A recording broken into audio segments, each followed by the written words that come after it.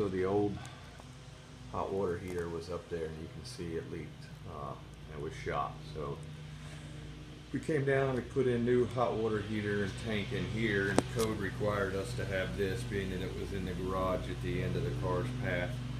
Um, so the inspector decided that he wanted to have that as well as the shut off here. There was a shut off through the attic door right above this, but uh, he wanted a separate shut off here.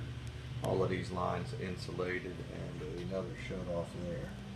So um, this pole, very expensive, very difficult to put in, having to drill four holes into the concrete.